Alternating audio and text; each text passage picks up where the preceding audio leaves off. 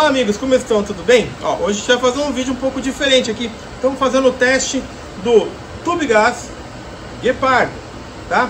Aqui o barulho, vocês perdoam a gente, que eu liguei o maçarico. Então a gente está fazendo em diversos produtos, ou seja, os principais da linha Guepardo, da linha Gás. Embora o Tubegás pode ser usado em qualquer produto, qualquer fogareiro, lampião ou, ou, ou churrasqueira que utilize esse tipo de gás, tá bom? Aqui a gente resolveu fazer o quê? Estou fazendo o teste no Grill Master, no Dúpio e no Maçarico. E por que três testes diferentes? Porque cada um tem um tipo de queimador diferente. O gás, o, o, no caso o Dúpio, ele tem um queimador simples de fogão. Mas por mais que ele seja um queimador mais simples, ele tem oito saídas que faz com que a chama se torne mais forte do que o fogão é, comum de repente da sua casa. Ele parece muito com aquela chama industrial, porém num tamanho é, reduzido. Já o maçarico ele já trabalha de uma outra forma. Ele tem um consumo às vezes um pouco menor, porém o jato de fogo direcionado, tá? Isso daí, claro, eu coloquei aqui no, na intensidade máxima de todos eles, porque aí de repente você vai falar no final do teste, poxa Henrique, mas o meu durou mais, né? Que bom que o durou mais. A gente está fazendo aqui no máximo, sempre. Geralmente quando a gente vai cozinhar, eu uso no fogo baixo. Porque o tipo de composição que esse gás tem, é, não é legal você usar isso no fogo alto, porque você põe fogo na comida. Né? Então é legal você fazer a comidinha no fogo baixo e vai ficar bem bom. Aqui no Grill Master, ele já trabalha de uma forma diferente.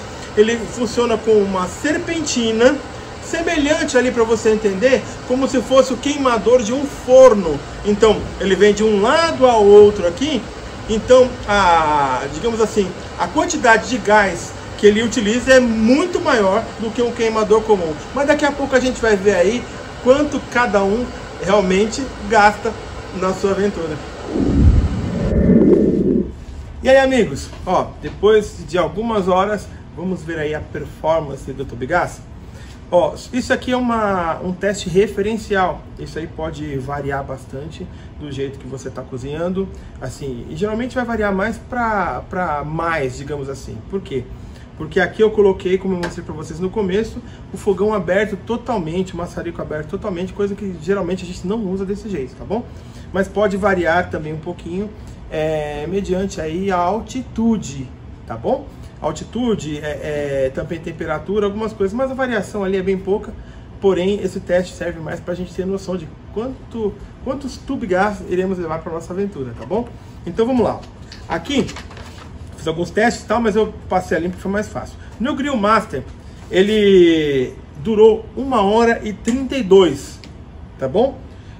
No maçarico, 4 horas e no dúpio, 2 horas e 4. Como a, a, a miúdo, o fogão e o maçarico ali, o maçarico eu achei que assim, durou demais, demais e é impossível alguém usar isso quatro horas ininterruptas né, no maçarico. O fogão e o, o grill master acontece, né? Mas o fogão já é um, um, um, produto que a gente já tem em linha há muito tempo. Você que cozinha já sabe quanto que é, isso representa, né? Quanto tempo você vai fazer cada tipo de alimento. Porém, o grill master eu queria deixar uma, um depoimento meu mesmo. Por quê? Aqui eu, eu fiz 10 espetinhos, tá bom? 10 espetinhos em 25 minutos. Ali, eu gosto de uma carne ao ponto, tá? Então, em 25 minutos, 10 espetinhos. Peguei aqueles espetinhos de mercado congelado, coloquei e fui testar. Então, dá para você fazer muito espetinho nesta 1 hora e 32 de tubigás, tá bom? Então, esse teste referencial feito com carinho para vocês da Guepardo.